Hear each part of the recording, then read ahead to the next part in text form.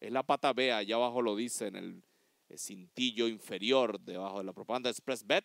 Partida, la partida es bastante pareja. Viene por la parte central Moon Rocket.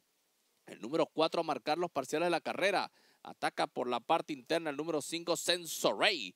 Y ahora Sensoray junto al número 2 Twirling Kimi. Los que vienen a pelear el primer lugar. Domina Sensoray pegado a la baranda interior. El primer Twirling Kimi está ahí muy cerca en el segundo. Moon Rocket se quedó en el tercero, en el cuarto está el caballo Hopscotchy, muy bien colocado este ejemplar desde el cuarto puesto y por fuera trata de acercarse el, el, el caballo Hong Kong Flew.